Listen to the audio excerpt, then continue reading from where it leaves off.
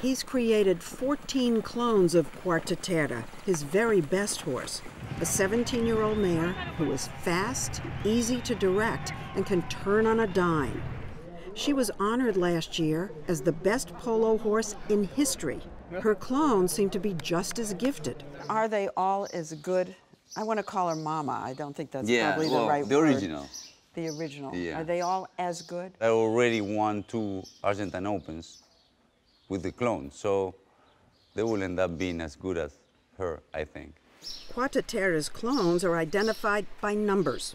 Shouldn't they have names? They have names. Well, they don't. Cuartetera. Yeah, but Cuartetera O, one, two, three, was four. that your idea?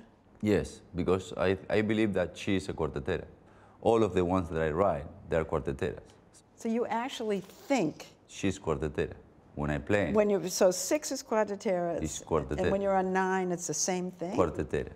But she's an individual. Yes. But the DN, DNN is a cuartetera. Yeah, but when you have identical twins, they each get a name. but this is not twins, it's a clone.